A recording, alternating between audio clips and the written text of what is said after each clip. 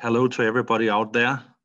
Uh, originally, when we should make this uh, presentation, uh, the idea was that the uh, uh, that we would do it as a, a on-site demonstration. the COVID has made the, us to change how we do it in, in, in, reality, and that, that has then also given us a chance to have people on board from not only Denmark but from, from a few other countries as well.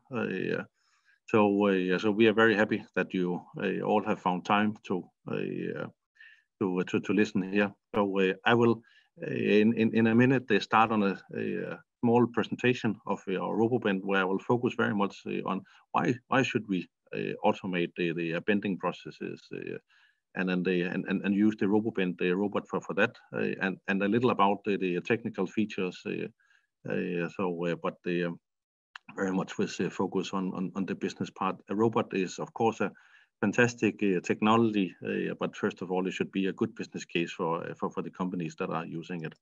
So uh, I'll now uh, share my screen here, um, and um,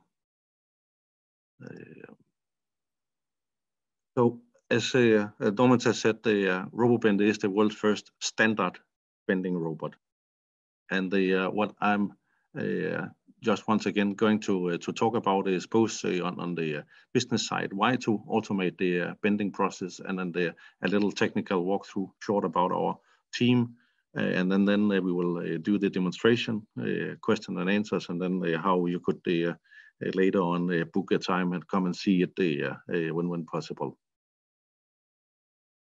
So why at all to automate the, the bending process? Uh, well, we I think all know that it's getting more and more difficult to find the uh, machine operators, uh, especially if, if you have uh, machines where you would like to uh, not only use it for, for the first shift, uh, but use more capacity on, on, on, the machine. And, and this is a growth killer. It's if you don't do not have the capacity, that means that you have if you don't have the operators, then you have lack of capacity. So uh, you will have to say no to clients uh, or, or, find alternative ways to uh, to to serve them. So and then it, it's partly because this, especially doing a bigger batch orders, it's it's dirty and repeatable work to do, and then the the young people do not want uh, to take such jobs. So uh, a little by little, uh, the uh, the market is being emptied with professionals that that knows how to do the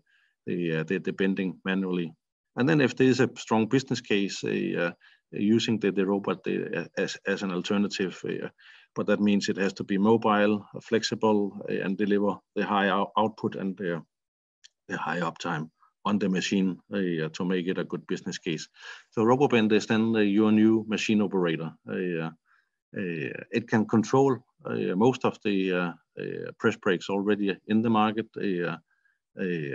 and by being able to take over the jobs of the manual operators, and even you know make it the operate in the second and the third shift the partly or fully on its own. It gives a higher uh, capacity on, on the press brakes that you already have.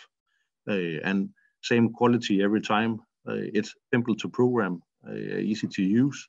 Uh, it's mobile, so it can be moved uh, to and from the press brake, and then uh, it, it, simply delivers a very good business case for, for most of the companies of course, uh, everybody uh, has uh, you know different setups in, in, in their production, and we have developed a little tool where we can go in and put numbers in and and help you uh, to uh, calculate each of your uh, business cases. How much will you save by using the robot?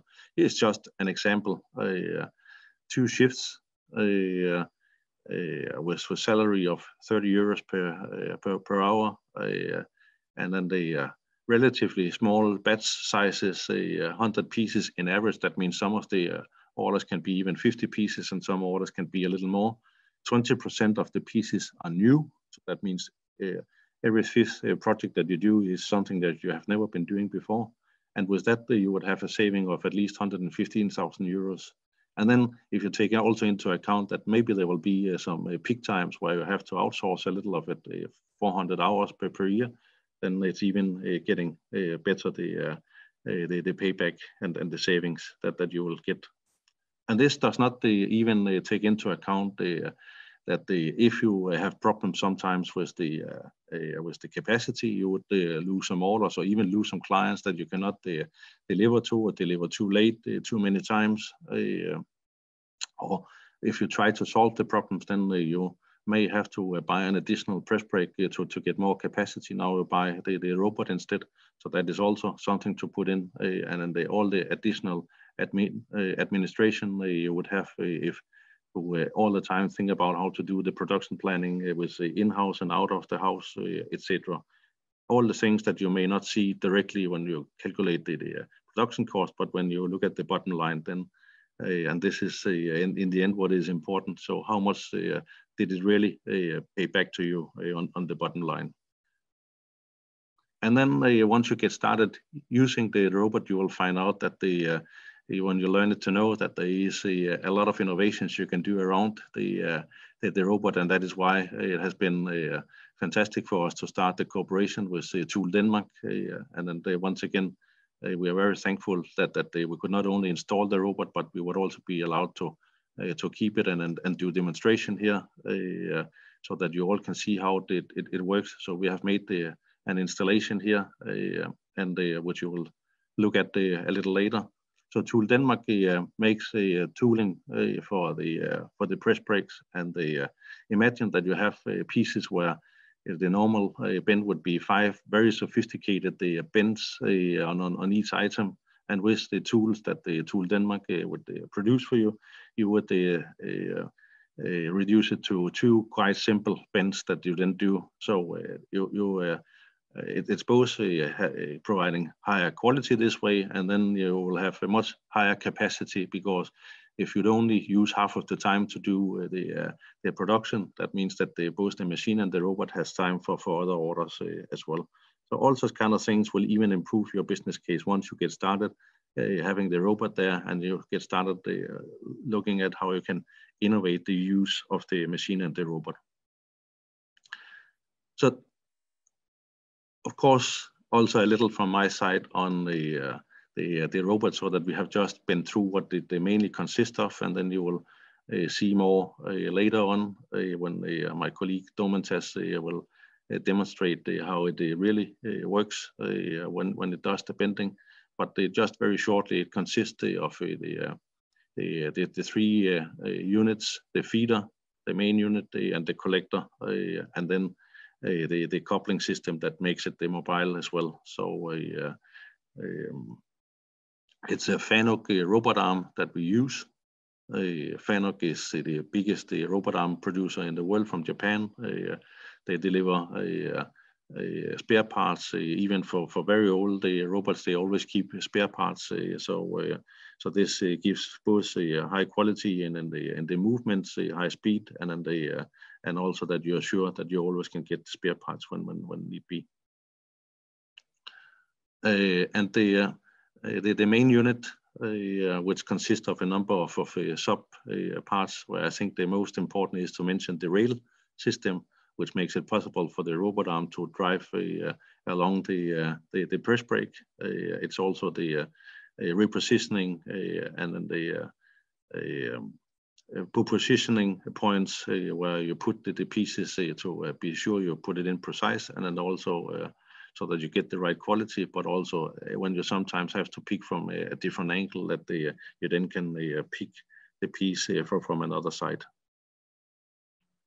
It's the feeder, which is made, the, as I usually call, more or less like a copy machine uh, system. So uh, you put in the, the pieces, uh, stack them up, and the and then it, it picks the, the robot arm picks one at a time. There is a separator also that secures that it's only one piece that we can pick at a time and the collector, which uh, can both be uh, used to where you on, on a pallet they, uh, place them in a certain system that is pre-organized, uh, uh, um, uh, or you put them down in, in, in a box where it just drops in, in the box. You have both opportunities. What is really important with our robot is that the, the, the user face makes it very easy to use and, and makes it easy to uh, shift from one uh, uh, item to the next item.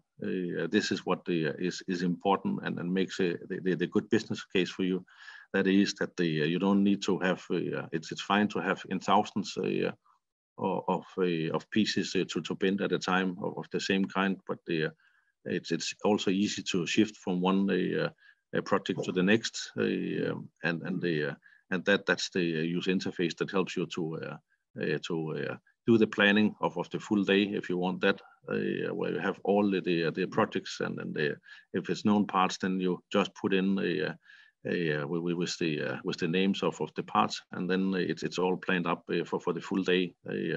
the uh, our system remembers uh, all the settings uh, and all the programs if it's once being done. So øh, and then the programming can even happen not uh, only at the robot, but you can sit the, uh, in, in the office uh, and, and and do the, the programming there and trans, transfer it to, to, to the robot. It's also very important the interface between the robot and the, the machine this is the interfacing that uh, makes it possible for us uh, to take the control of the machine uh, so that the, the machine becomes the slave of the robot, so to speak. you convert the drawings to uh, programs uh, for both the machine and for the uh, robot, and then the robot is simply from there on taking over, demanding when the, the machine is doing the the the bending when when the the robot should pick up, put in, and then the and the bending machine, uh, press brake uh, once more should uh, go in and, uh, and and and do the pressing of, of the pieces. The coupling system that makes it mobile, so that if it is so that there is one uh, time uh, during the week, uh, whatever, when you decide that you would very much like to do a little of the bending manually, if you want to do some testing of some new pieces or whatever, then you decouple the uh, robot uh, very simple and easily, and then uh, you uh, um, can move it uh, to, to the robot uh, again, and then they within a very short time make it ready for, for, for use again. Um, and the cover that is partly in organic glass to make it look nice, and the way that it's you know, made compact and, and in three units uh, that is placed. Uh, so there's no space to get into the, to, to the uh, press brake is part of the safety. So there is no way where you can get in and touch neither the press brake nor the robot. The, uh, you can of course open up, but then the robot will be stopping. So Domantas has said that I will uh, Uh, uh, let the uh, start in, in, a, in, in, a short while to uh, to do and, and use and, and show us how the robot is working. Will of course also comment on it when when you see the robot in action while it works. that is how it is. Once he has started it up, he can sit and, and comment how it works. So, uh, so he will do that. But this was just a short introduction. What kind of parts, main parts, does the robot consist of? And the team uh, that the started the the uh, the, the company uh, is the the three gentlemen here. Uh, I'm the one of them. we have Justinas Katkus, that is the CTO and the, the, brain behind all the the technical solutions, and the Per Heindorf Iversen, our investor, and then the uh, international uh, business person that has a, lot of uh, international uh, business experience. Uh, so, so we are the three that they established the company, and then uh, along with that, the partners like Danish Techn Technology Institute and, and, and others that we have as, as partners on the project as well. So with that, uh, I, I, think that we should uh, get to it, which I'm sure that you are looking uh, very much forward to, that we are getting to the to the um, to the real demonstration of the robot. And, the, and then the, when we have seen the robot in action, then the, there will also be a, a question and answer a session where we uh, will be uh, uh, able to answer all your hopefully many good questions afterwards when you have seen it in action.